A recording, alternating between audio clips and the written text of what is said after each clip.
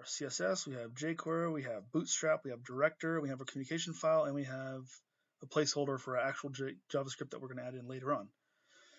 Okay, now what does all this give you? What it gives you is it gives you um, a nav bar to place your your navigation on the page, right? So just like Angular or any of these other sort of systems, um, you can have everything on this one page. Quick, uh, quickly click and things will show up instantly without that page refresh. If you go to another website and you click on stuff, um, well, let's see, go. Well, for, for example, look at Socket Cluster's website, right? See how fast it is. So thing is a spa. There's no page refreshes, right? Well, we're going to do something similar just like that. So um, we're going to use director and our own JavaScript to do that. Okay, so the problem is, is everything's hidden, right? So you're not going to see this dashboard or this about page. So let's go look at that real quick. Let's make sure everything's still running or still good. You don't need to do that. I just do that. Um, okay, so we got, we got a token problem here. Let's make sure everything's okay. CSS, Bootswatch. Well, let's rename this, make sure we grab this guy here. Make sure everything's named properly. Uh, dashboard about. Oh, it's going to complain about this. So we'll do that. There you go. There we go. Okay. Um, for some reason, Bootswatch isn't loading up. Um, hmm.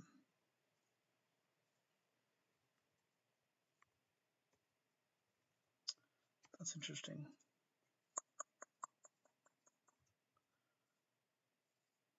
Well, we'll forget that for right now. We'll just get Bootstrap. I don't want to spend a whole lot of time on that stuff, so.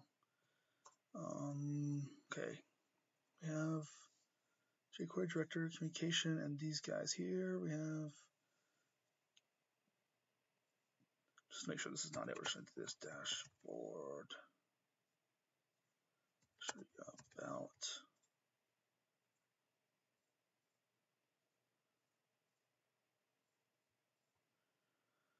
Hmm, Bootstrap's not loading for some reason. Download CSS, where is the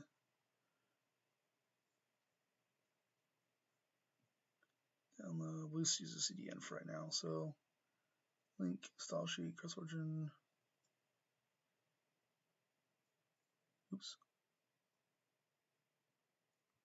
Let's do that for now because I don't really want to mess with this. Okay, oops. You're going to need that. That's probably the problem. Oh, there we go. Okay, then we need the JavaScript files for it. We're just going to grab this stuff now just because I don't want to mess with that. What? Is there?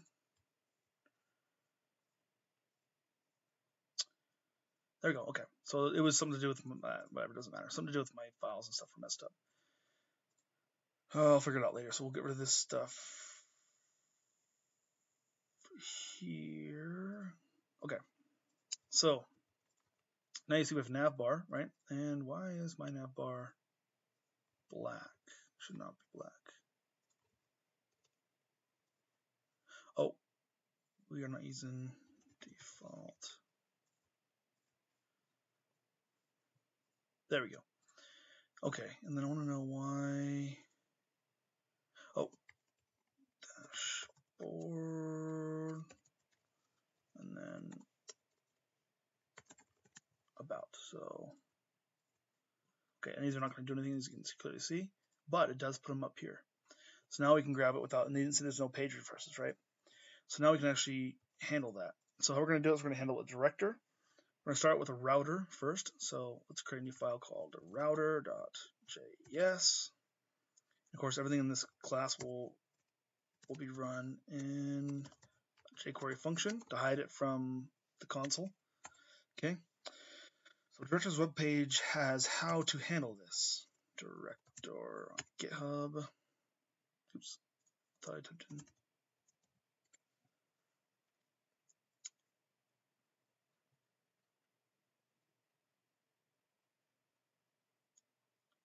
And it's right here. This is a script that you can use. Um, so the very first thing we need to do is we need to have a startup function for our application. So startup.js. We're gonna um, wrap this here. We're gonna say document oops, document dot ready function. We're gonna call notify bind. This is going to do is this you know, when the document's all loaded, then it's going to notify bind. So nothing's going to load until the document's done. This is how we kind of control our state, um, which is can be difficult in a web application, but here we're going to control our state really well, and I'll show you how to do that. So we're going to observe bind. Call this here. So what's going to happen is as soon as the document's ready, startup's going to call bind, and that's going to call this route file here. So let's include both these in our here. We want startup to be called last, so it will be called system, system, and startup. And here we want to call uh, route. It's not minified, so we don't need to the min. Um, there we go. There. Okay. So now we need to. So we need. No, we need to initiate the router first.